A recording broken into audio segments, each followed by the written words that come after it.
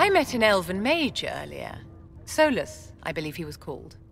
I admit I was surprised. I didn't expect to find mages among the Inquisition. Tell me, why were you at the Divine Conclave?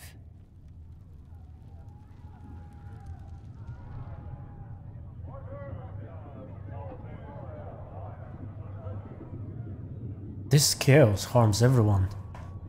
The war benefits no one. It must end, and order must be restored. If only the rebels saw things so clearly. Justinia's death has shattered the balance of power in Thedas. If it is not restored quickly, countless lives will be lost. Mages, Templars, innocent people of all kinds now look to the Inquisition to decide their fate. That's why you wanted to be here. To have a hand in deciding that fate. Wouldn't you?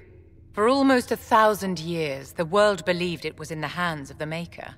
And now many believe you are the agent of his will.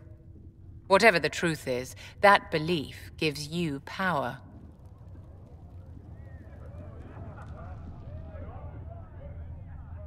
I'll use it to change things. If that's true, then I'll put it to good use. I suppose we'll see. I've stolen enough of your time, my dear. Don't let me keep you. Yes?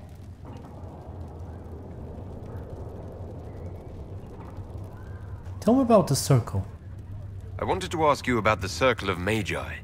Of course. What do you wish to know?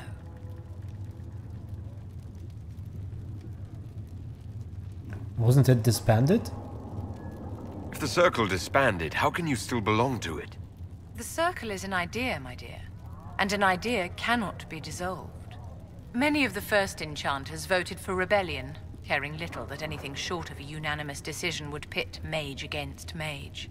Rather than dissolving it, Grand Enchanter Fiona's vote split the circle in two. The rebels follow her, the loyalists follow me. Shouldn't you replace her? If you lead all the loyalists, why are you only First Enchanter and not Grand Enchanter? Grand Enchanters are elected, and since there are no First Enchanters besides myself, no vote can be held. I could name myself Grand Enchanter, but the title holds no meaning now. When the circles are restored, that will change. What was circle life like? What was it like to live in a circle? My dear, your question is the root of all problems with mages. I cannot tell you. Every circle was different. Their Templars were different, their politics unique.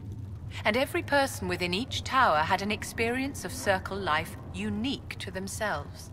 Some people suffered and some were content. Some were cruel, some compassionate, and some indifferent. The same is true of people everywhere, in all circumstances, whether they are mages or not. What about your experience? Tell me about your personal experience with the Circle. I enjoyed life in the Montsimmard Circle, my dear. It was an edifice devoted to knowledge and refinement. And mages need the company of other mages. No one else can truly understand the challenges we face, nor see the world as we do. Was confinement hard? You must have been under constant supervision, being forced by Templars to live in the tower. Was that hard to endure? My dear, I have a suite in the palace and a wing at my dear Duke Bastien's estate. I've never been forced to live anywhere. Most circles allowed mages to live away from the tower, either on their own or in service to the nobility. All that was required was permission from the first enchanter. Some circles were harsher in their restrictions. Kirkwall was the worst. Oh, yeah. But it was the exception. Most were quite permissive. Perhaps too permissive, in retrospect. How did the rebellion start? How did we come to this state with the circles in revolt? A failure of perspective that infected Circle leadership. Mages lived solely in a world of Templars and mages. They could not even imagine what was beyond the tower walls. Kirkwall gave the world a reason to remember its fear of magic. A mage killed hundreds with a snap of their fingers. Across Thedas, a new tangible fear of magic grew. Commoners and nobles alike called out to the Chantry for protection. But the malcontents in the towers thought nothing of this. They cared only for themselves and for their anger at the new Templar restrictions. When a mage attempted to assassinate Divine Justinia, again, the mages protested the investigation. The leadership chose to vote on independence based on the intolerable conditions imposed by the Templars, sparing no thought to the fact that magic was more feared in the aftermath of these attacks than it had been since Tevinter's day.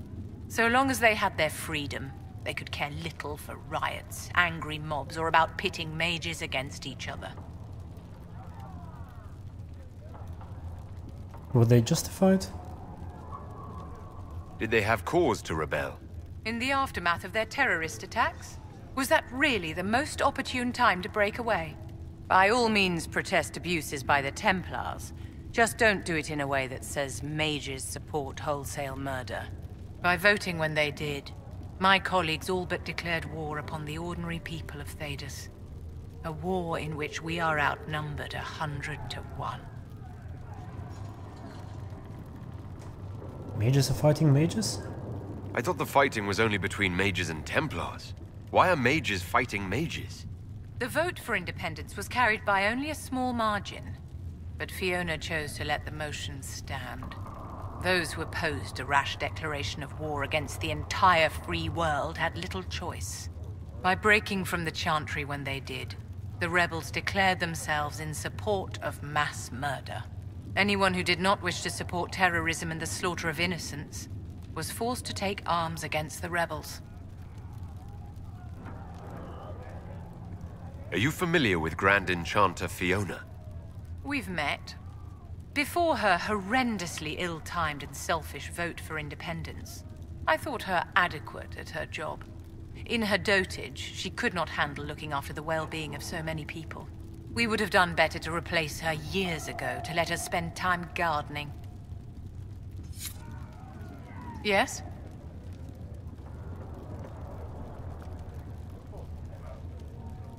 I wanted to ask you about the Circle of Magi. Of course. What do you wish to know?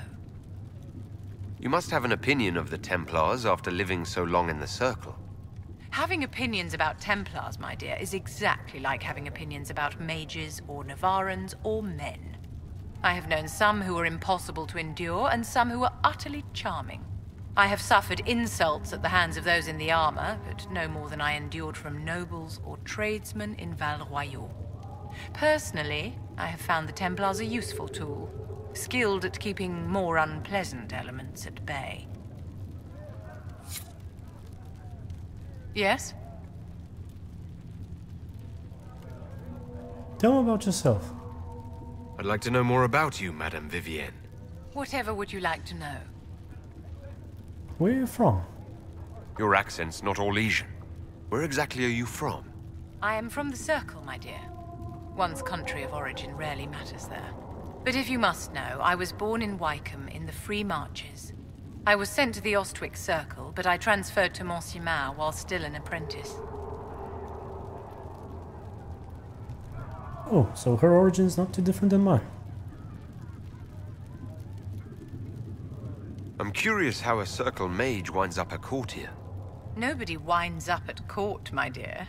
It takes a great deal of effort to arrive there. I caught the eye of Duke Bastien de Ghislain, an advantageous connection that opened many doors. When the position of Enchanter to the Imperial Court became vacant, I was able to secure it.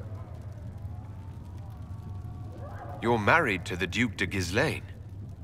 Of course not, my dear. Don't be ridiculous. Marriage is the business of alliance and inheritance. I'm Bastien's mistress. And what does the Duchess de Ghislain think of this arrangement? We got along quite well. Duchess Nicoline and I used to host musical salons together. She was a great patron of the arts. She passed away from a fever a few years ago, the poor dear.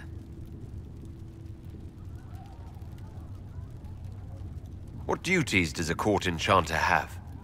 I am tasked with providing assistance to the Empress on arcane matters. Most of my predecessors restricted this to lighting lamps and doing parlor tricks. In such troubled times as these, however, I provide political advice to Her Majesty on the subject of the Mage Rebellion. Okay, let's try the... Any chance we might... Do you think that you and I might, someday... I don't see how that benefits me in the slightest, my dear. That's too bad. Yes? Do you think that you and I might, someday... You and I? Don't be absurd, my dear.